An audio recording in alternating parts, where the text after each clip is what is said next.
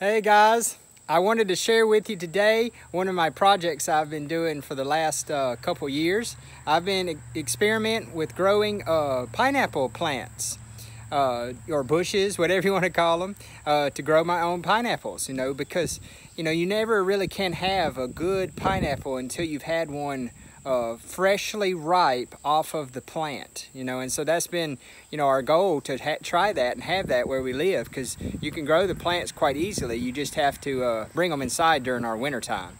But let me show you what they look like. Uh, I've actually got some fruit growing on them, so I want to share with you guys.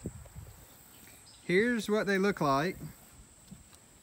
See, here's the, here's the one that we're going to harvest today. We think it's ready. You wait until they get nice and golden yellow like that. You know, uh, it's so beautiful, you know. And then uh, here's another one we have down here, but see, it's not quite as uh, ready. See, it's more green. But see how it's growing out the side? And then these are all the rest of our uh, plants that we have. Here's a couple that I started uh, this year, you know, from uh, some, some tops from some of the other ones we had last year.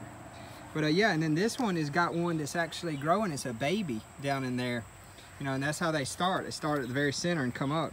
But also look at this plant, how, how many shoots it's shooting out. See each one of these shoots, there's a shoot, there's a shoot, there's a shoot, there's a shoot down there. You know, I don't know if you can see it, but there's all these little shoots that are coming out. They can each potentially have a pineapple come out of that one plant. See, this is where we harvested the old uh, pineapple shoot right here uh, in this area. And then this is the new shoot coming up, you know.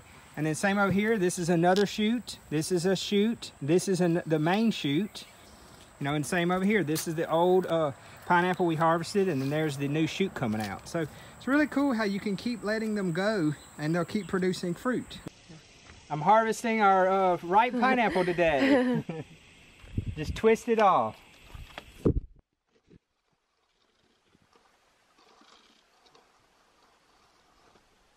Look at that beauty. Woo! fresh grown. Yeah. White pineapple. Let's go cut it up. Yeah. I wanted to share this cool cool experiment that I've been having. I really uh, look forward to seeing how this one tastes. I'm gonna, I'll share with you some pictures of it after I harvest it and what it looks like. But okay, till next time guys, take care, bye-bye.